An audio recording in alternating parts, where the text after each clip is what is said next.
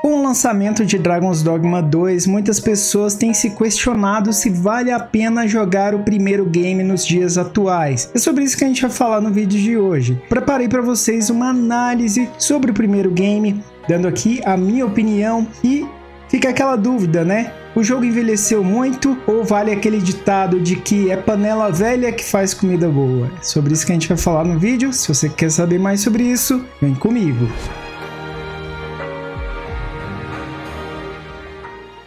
Sim, meus amigos, se o jogo envelheceu ou não, é fato. É um jogo de 12 anos atrás, e em termos visuais, nos consoles, o jogo passa mesmo aquela sensação de ser um jogo de PS3. As cores do jogo não são tão vivas, as texturas são mais simples, mas para quem está jogando no PC, consegue ainda chegar a uma resolução 4K, frame rate maiores também, e consegue também baixar alguns mods com texturas em alta resolução que já dão uma nova cara para o jogo, tá? Deixando ele com aquela sensação de remasterização em termos gráficos, mesmo que você não jogue no PC, apesar de você sentir que está jogando um jogo de PS3, continua sendo bastante jogável nos dias de hoje, tá? Interessantemente, é algo que você consegue abstrair facilmente, na minha opinião, porque o jogo tem tantos elementos legais que esse, essa questão visual que de um primeiro momento você pode se incomodar um pouco é superada pelos outros elementos aí que contribuem para sua experiência ser bem interessante.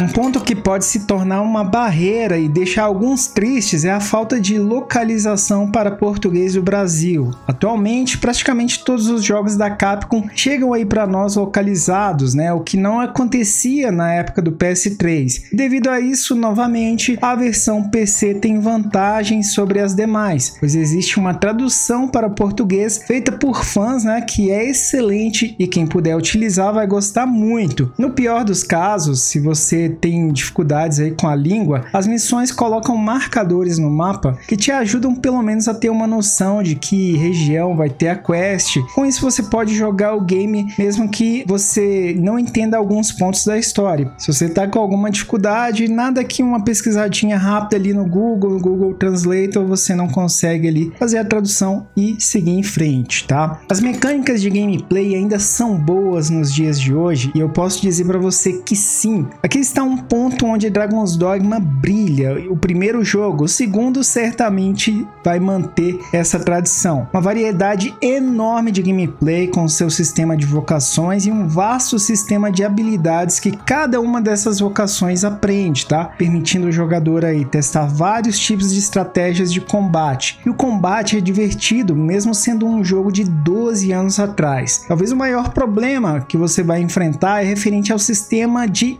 estamina do jogo, que realmente pega pesado com o jogador. O controle do seu peso é essencial. O gerenciamento da estamina é algo que acontece de forma constante por aqui. Talvez seja o ponto mais fraco do jogo. Quando falamos em detalhes, poderiam ter sido implementados de uma melhor forma, mas ele é um jogo cheio de mecânicas e que não deixa nada óbvio para o jogador. Você vai ter que estar sempre testando, procurando formas de conseguir superar algum inimigo do qual está tendo dificuldade para tirar dano. Vai ter de testar diferentes tipos de dano, reorganizar sua equipe, né, com seus peões e assim por diante. Ele tem uma boa gama aí de inimigos diferentes para que você enfrente, tá? Ele tem um conteúdo indie game também com inimigos ainda mais desafiadores. Então, meu amigo, fica tranquilo que você vai ter muito inimigo e muita coisa para aprender aí com Dragon's Dogma, tá? Tem muitos segredos, coisas que os jogos atuais infelizmente, né, não oferecem. Entregam entregam tudo de bandeja. Aqui não, você vai ter muito o que descobrir, beleza? Para quem quer comprar o Dragon's Dogma 2 no precinho, eu virei parceiro da nuvem, pessoal. E o preço deles, ó, tá muito bom e você tem a opção ainda de parcelar. E se for jogar no PC, se for comprar nos consoles, você pode comprar os gift cards lá também. Sempre tem cupons muito bons, tá? Vou deixar para vocês aí na descrição. E para quem quiser a mídia física, vou deixar o link aí também da Amazon, que é a loja mais confiável aqui do país, tá bom? Dá uma olhadinha pegando aqui pelos links, você dá aquela moral pro canal. Leps, eu sempre vejo o pessoal falar mal do sistema de viagem rápida, né? Não tem viagem rápida, você tem que ficar andando pelo mapa, isso vai ser um problema? Olha pessoal, em alguns momentos realmente você vai andar distâncias bem longas a pé. Particularmente se você é o tipo de pessoa que curte um bom action RPG, acredito que isso não vai ser um problema para você, especialmente se você estiver jogando o game sem pressa, com tempo aí para ir cumprindo quests enquanto anda por aí, você vai derrotando inimigos e isso ajuda bastante a cumprir várias quests do jogo. Alguns jogadores mais acostumados já aos sistemas de viagem rápida dos dias atuais podem não se adaptar, mas para quem curte RPG e entende a proposta do jogo, acho que vai entender isso numa boa e vai procurar ser estratégico com a utilização dos Port Crystals, que são pedras que você pega dentro do jogo e posiciona em pontos específicos para que possam ser usadas como pontos de viagem rápida. Mas sim,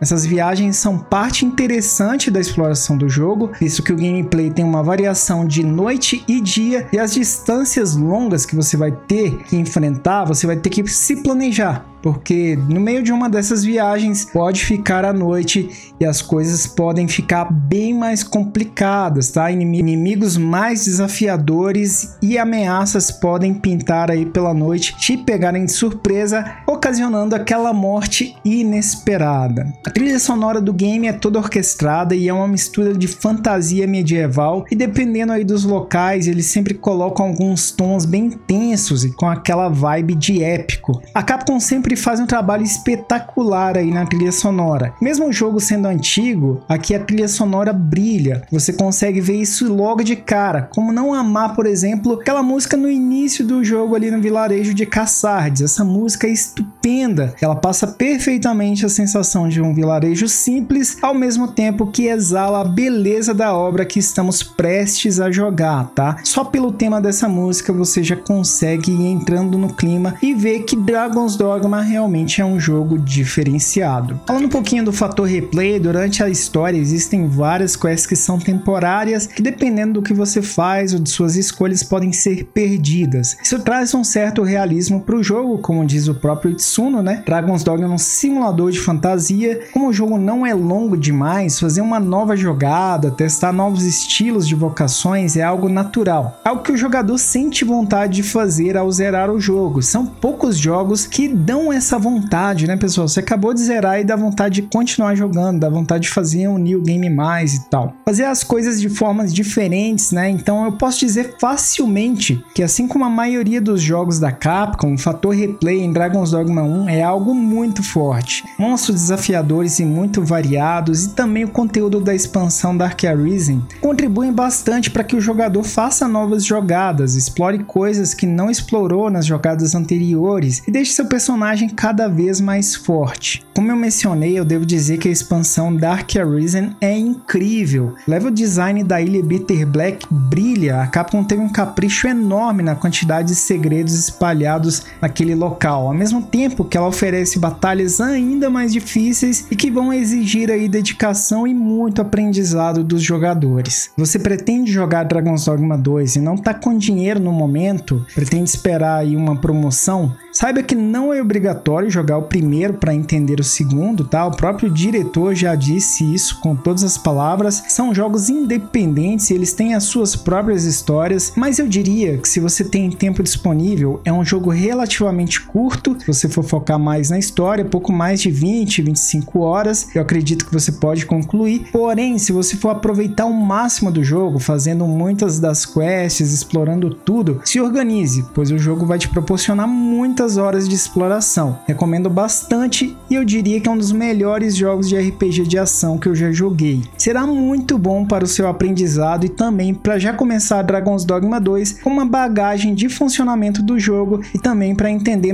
as melhorias gerais que a Capcom vai fazer no segundo jogo, beleza? Esse jogo tem um selo Lapse de obrigatório para os amantes aí de RPGs de ação e também para amantes de fantasia medieval, tá? Um trabalho aqui incrível da Capcom. Eu realmente acredito que Dragon's Dogma tem tudo para se tornar um dos pilares da Capcom, uma das franquias mais queridas pelos jogadores, mais vendidas, mais jogadas, tá? E de maior interesse em futuros jogos. E Dragon's Dogma 1 foi sem dúvida alguma importante para essa sequência, né? O Dragon's Dogma 2 que está por vir. Então, se você tiver condições, joga esse jogo, tenho certeza que você vai curtir demais, tá bom? Deixa aí nos comentários você que já jogou, recomendando pra galera, vale ou não vale a pena? Tá? Deixa a opinião de vocês, é importante. E você pretende jogar, se tiver alguma outra dúvida, manda aí também, que eu vou estar respondendo. Aqui no canal você encontra um vídeo completinho de dicas do Dragon's Dogma 1, que vai te ajudar tanto no primeiro quanto no segundo jogo. Recomendo muito se você é iniciante. E já temos uma playlist do Dragon's Dogma 2, onde estou cobrindo tudo que está saindo do game e vamos continuar cobrindo aí após o lançamento também, com vários vídeos de dicas, guias e tudo mais para ajudar vocês, beleza? Então é isso, vou ficando por por aqui. Até o próximo vídeo. Valeu e